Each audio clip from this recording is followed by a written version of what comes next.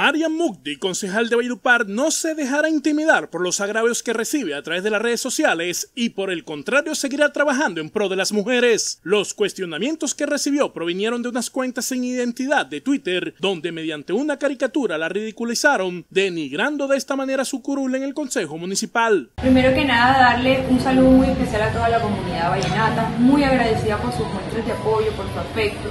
Eh, quiero manifestarles que me he sentido agradecida desde un principio por el apoyo que me vienen dando, sobre todo en los últimos días se han venido presentando unos hechos que buscan amedrentarme, buscan callarme y buscan que yo no siga participando en el tema público, que yo me, que yo me aleje del tema público, pero que lo que han hecho es generarme a mí un empoderamiento, generarme una fuerza, porque yo no lucho por mí, yo lucho por todas las mujeres vallenatas a las cuales represento.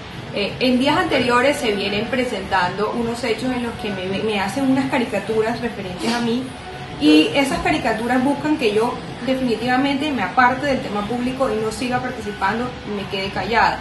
Pero esas caricaturas a mí en realidad no me afectan, uno con los años se va volviendo más fuerte y psicológicamente se prepara para el ejercicio público en el que pueden presentarse cualquier tipo de ataques. Lo que me preocupa realmente es todas esas mujeres que quieran participar en temas públicos y que lo dejen de hacer porque se ven representadas en mí y estos hechos pueden afectar.